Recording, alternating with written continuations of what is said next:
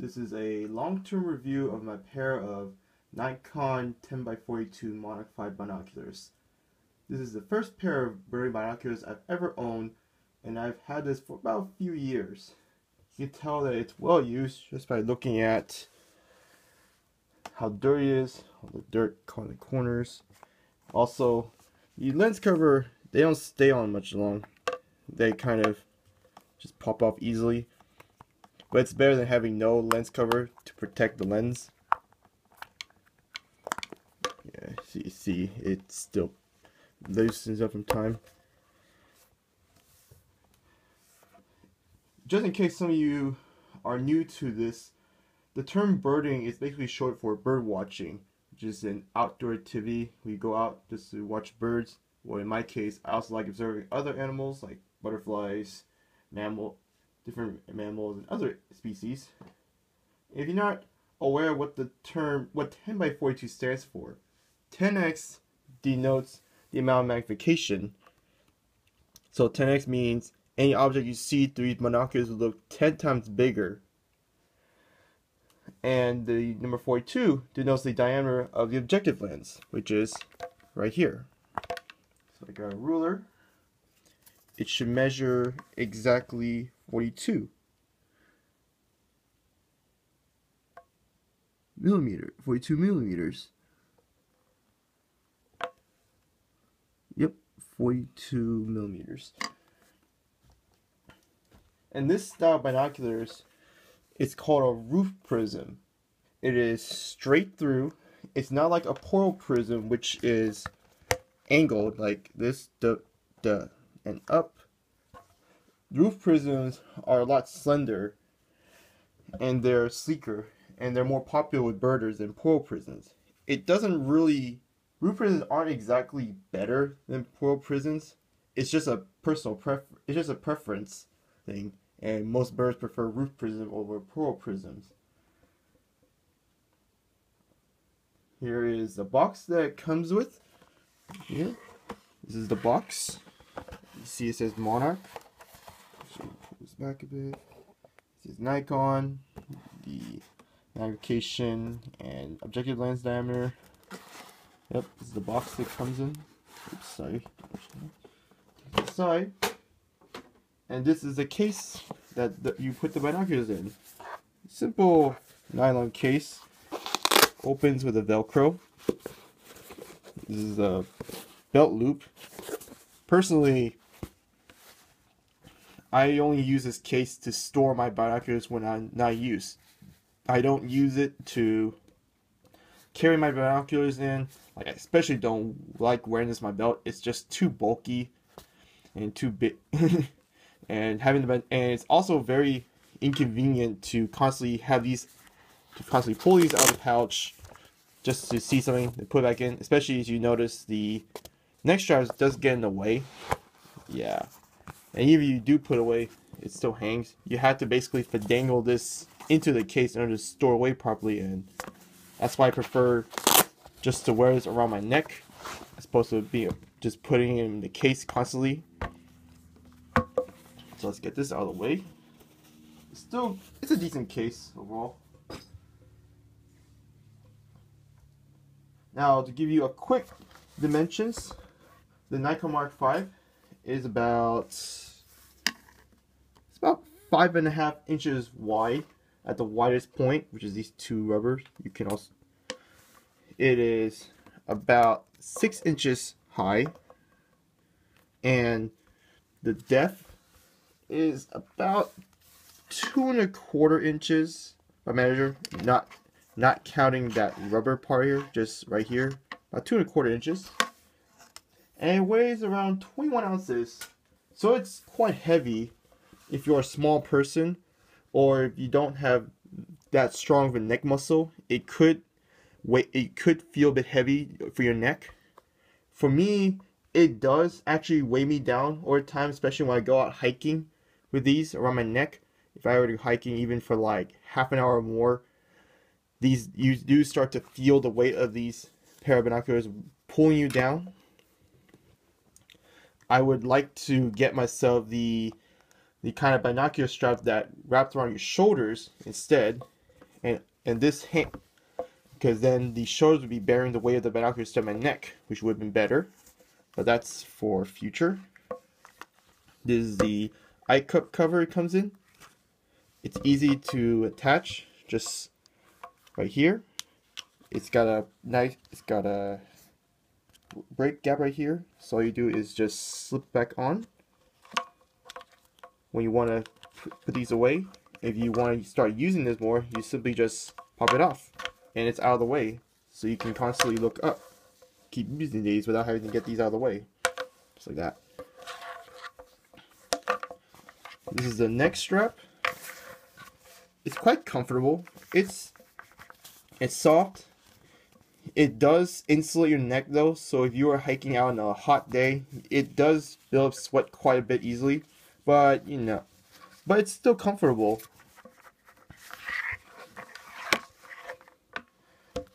this is the eye cup right here. The amount of eye relief this gives you is about 18.4 millimeters.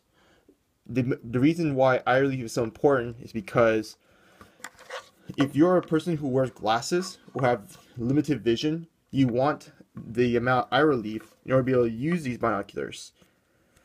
Which means you have to pull these in as much as you need as needed for your eyesight if you're not an eyeglasses wearer like myself, who, based on my last visit to the eye doctor, I don't need glasses, you would want to pull these all the way out. So you can still use these binoculars normally. But if you're an eyeglasses wearer, you might want to take that consideration if you want to decide if this pair of binoculars is has the right amount of eye relief for you to be able to use 18.4 millimeters. this is the fo- the focus where I hear is very smooth. Like every time I use this binocular, I can adjust the focus wheel very easily without worry about fidgeting or any, any or something that could distract me from viewing animals. All I do is just simply turn as I'm focusing on the target or the subject of matter. It also has another focus wheel right here I've tried using it a couple times. I've never really needed it. Plus, this one is a little bit stickier, or not stickier, sorry, stiffer to turn than this. This is smooth, this is a little bit stiffer. So I only use this if I really need it. Like the target I'm trying to focus, it's just not easy to focus.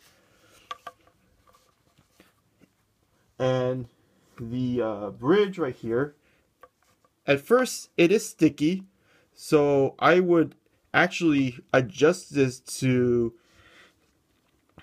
your to your to fit you first before you ever take it out there to go observe wildlife. Like have it adjusted to fit you perfectly. Just all this, and then you basically just go out and you see wildlife, just simply pick it up and watch right away without having to worry about readjusting. Other than the focus right here. But this is not a problem because it's very smooth. The amount of field of view you get out of this pair of binoculars is about 5.5 degrees, which is roughly 289 feet out of distance of 1,000 yards, which is pretty wide for a 10 by 42. Oh, fun fact, the, the, the, the amount of magnification does affect the field of view. The lower magnification binoculars like the 8 mag- time magnification or even 7 will have a wider field of view than a 10 time magnification because you're essentially zooming in more so the amount of field of view gets smaller. Whereas you're magnified out just a bit it gets wider. And the closest focus you'll get about this is 8 feet close to 8 feet which is actually not too bad considering what I do because again, I'm observing wildlife and it's rare for me to see a bird get come closer to me than six eight feet like rare because most wildlife are skittish people. They're they don't like it close which is fine. Unless you're really trying to get really close to wildlife which i highly do not recommend then eight feet should be just fine for you fine. Now Nikon does offer other binoculars under the Monarch line. They have the Monarch 3, which is a bit more inexpensive than the Monarch 5. They also have the Monarch 7, which is a couple a little bit more expensive by a couple hundred dollars. And they have another edition of new, they have a recent addition to the Monarch line, which is called the HG. It's a bit more high end. It goes for around a thousand dollars, which of course by me is not a budget binoculars pair of binoculars. But the reason why you see a different price tags mostly because of the overall image quality each give you. The higher the price, the better the image quality in terms of brightness, clear, sharp image, uh, mainly because of the glass. Also, I found I noticed that with the 7 and the HG, they also have a wider field of view than this pair of binoculars, with the HG being wider than both of them. It's it's a case of you get what you pay for, in a sense. What I really about, like about the Monarch 5 is that out of all the different Monarch binoculars, this here it basically essentially gives you the best bang for your buck in terms of trying to introduce someone into birding. Like you're trying to get someone started birding, they've never been went out birding their entire life. They want to get started, but you need to find them a binocular to get them started. You don't want to. You're not wor- You're too worried about getting started with something too expensive, only find that they're not into it. And on the other hand, you want them get they really want to get started, but you don't want to get started with something that's a bit on the cheap side, that doesn't give as good an image or or quality of an image as you want it to give. So the 5 is the best of both worlds. It's not too expensive like the 7 to HG. 330 well, okay, maybe $300 may sound a bit expensive, or 30 depending where you get it at, but for a pair of binoculars, especially if you're trying to go out birding, because you want to watch bird, see birds with them, it's actually not a bad a price because it because with the three, you know, I've seen the reviews, they are good too, but the five does give a bit of a brighter, a bit of a clearer image, and if and if you really want to be able to uh, uh, to recognize different species of birds, a lot of birds have unique traits such as difference in coloration that could make the difference with observing, uh, recognizing what species you're looking at. And the 5, it is actually good enough for how much you pay for. You do get a brighter, clear image with the 7 and especially the HG, but at the same time, for 500 plus or even for $1,000, it's kind of a bit out, it's kind of a bit of an investment to get someone started. So it's the best of both worlds. Not too not too overly expensive, but it gives you a bright enough image to give you a clear detail of the of whatever animal you're trying to spot. So I do I recommend this pair of binoculars? Yes, I actually do actually. It's a good pair, but not the 10 by 42 though. I would rather you get the 8 by recommend you get the 8 by 42 instead, and here's why. Remember I said earlier the difference between different magnification is the field of view. If you, before I, when I first got these binoculars, I honestly had no experience with birding at all. Like, I've no idea what I need to know, and I have absolutely no experience with handling different binoculars. So I had no clue on what to get. All I knew is the trade-offs between different magnification. More magnification versus more field of view I didn't think much about brightness or amount of light coming in through these binoculars. I just simply had no experience. So I decided to pick the 10 because I thought, you know, the main reason why most birders get 8x42 because they also get spotting scopes. And the problem with me when I first got it was I was also a college student and I had basically very limited funds, money, and getting both a spotting scope and a pair of binoc- decent binoc- good binoculars is kind of out of the question.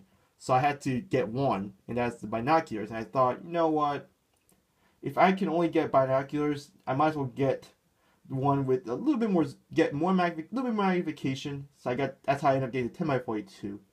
Now, I have to admit, the 8 by 42 would have been better for me because there have been times where I needed that field of view in order to be able to look around the area, be able to better see the larger area to see multiple targets because there are times where I had to focus one target to the other, constantly shifting, as opposed to being able to see both in one area.